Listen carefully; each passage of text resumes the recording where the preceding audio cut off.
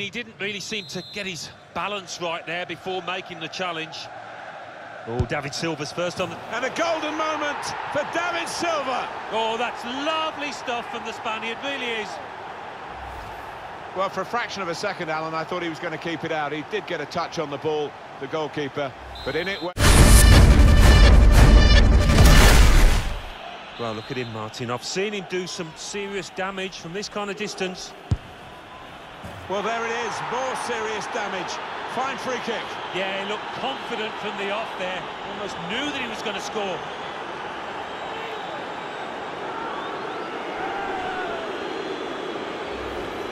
What a brilliant game he's having.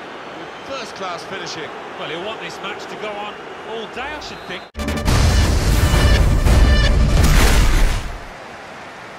How did he do that?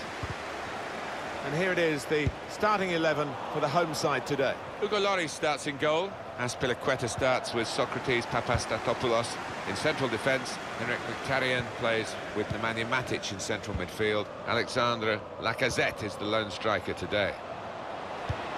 And for the away side, this is how they line up for this match. Bernd Leno starts in goal. Eric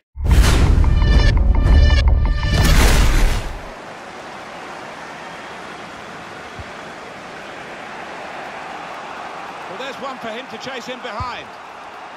And they've got this equaliser.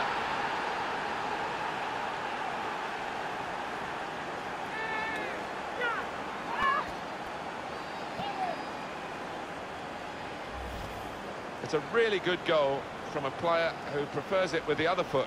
He does. First half performance from him, and not just with the late goal, which was really Shots on here. It's hit the post and gone